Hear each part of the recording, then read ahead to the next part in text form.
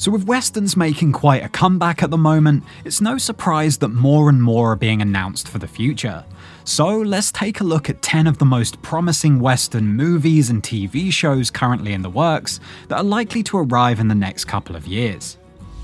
So, at number 10, we have a new feature film biopic about Billy the Kid, starring Barry Keoghan as the titular gunslinger and the film is set to be helmed by Bart Layton, best known for directing American Animals, which was apparently where Keoghan first introduced the idea to the director. Because growing up as an orphan with a complicated childhood, the actor had always felt a connection to Billy the Kid and was fascinated by his history, especially the conflicting eyewitness accounts and stories that fed into his legacy. So, this biopic sounds like it will aim to be much more grounded and authentic than past efforts, with Keoghan explaining there's a soul and vulnerability to Billy that I think is important to bring, to understand him as a real person rather than the myth that he's become. So, it's clear that this new Billy the Kid biopic is quite the passion project for all involved, with Layton aiming to start production on the movie in the first half of 2024. Next up, we have a new untitled action adventure western movie from Amazon about the real life historical figure Kate Warne, starring Emily Blunt. And in the film, she's set to play the first woman to ever work for the Pinkerton Detective Agency, exploring the true story of how Kate Warne changed the nature of detective work for years to come. So it sounds a lot like Sherlock Holmes meets the English, promising to be a propulsive action thriller helmed by Black Adam director Jaume Collet-Serra. And this makes a lot of sense given that Dwayne Johnson is attached to produce the film alongside Emily Blunt through his Seven Bucks production company. And despite conversations about the movie being put on hold during the Hollywood strikes, everything seems to suggest that this new Western biopic will enter production very soon. Up next, we have The Harder They Fall 2, a sequel to the 2021 Western directed by Jeymes Samuel for Netflix. And for those who haven't seen it, the film featured numerous real life black historical figures from the Wild West, brought together in a fictional plot full of stylized action and big name stars, which upon its release was applauded by critics and viewers alike. So, given its positive reception and cliffhanger ending, it seemed as if The Harder They Fall might be the start of an ongoing franchise. However, there have been no updates ever since, until Jeymes Samuel finally revealed that there is in fact a sequel currently in the works at Netflix. So it seems that The Harder They Fall 2 is on its way, but might just be delayed because of the various strikes and the recent drama surrounding its star, Jonathan Majors.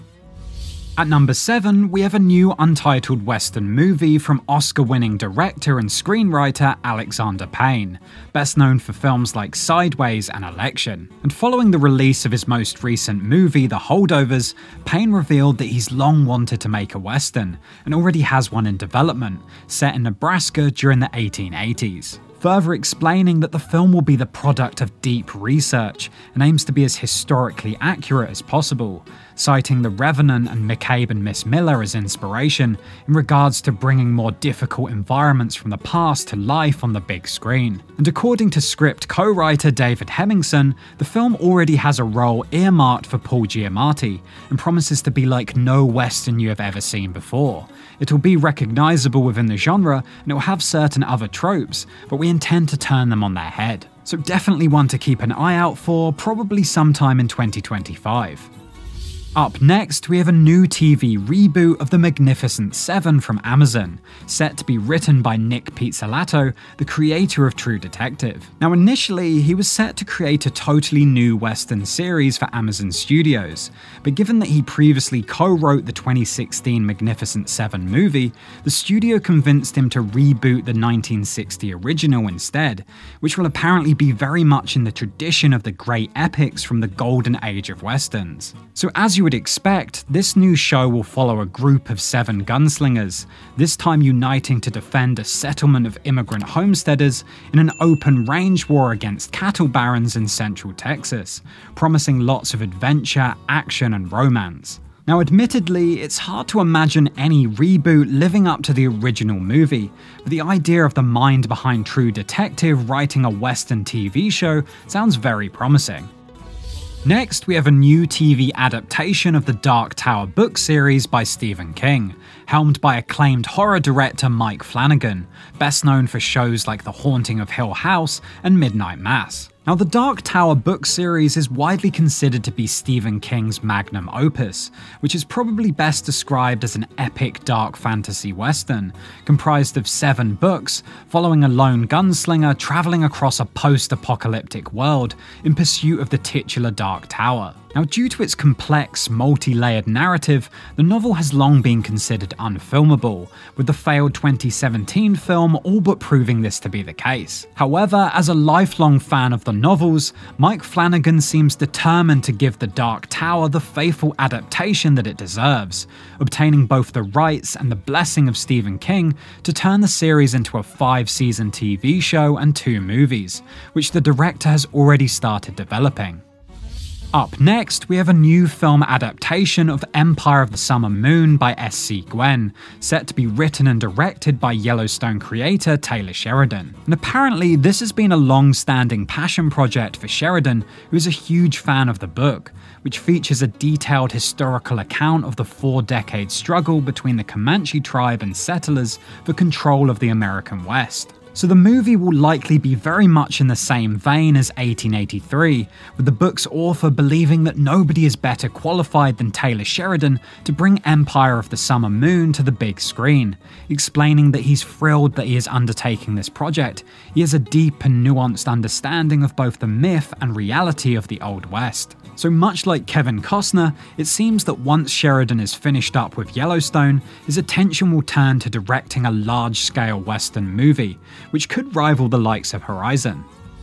Also on the way is a mysterious Western movie from acclaimed director Ridley Scott, who is set to start work on the project as soon as he's finished up with Gladiator 2. Now, although not much is known about the film, Scott has described it as a bucket list project, many in the know believe that it's a film adaptation of the novel Wraiths of the Broken Land, written by the director of Bone Tomahawk. And the reason for this speculation is because all the way back in 2016, Scott announced that he would be teaming up with Drew Goddard to adapt the novel, which follows a father and son in the early 1900s who assemble an outlaw gang and set out across the Badlands to rescue two kidnapped sisters. So, if this new Western does end up being an adaptation of Wraiths of the Broken Land, you can expect the film to be very cinematic and gritty, which sounds pretty perfect for Ridley Scott, who's teased that he could start work on the movie as early as 2024.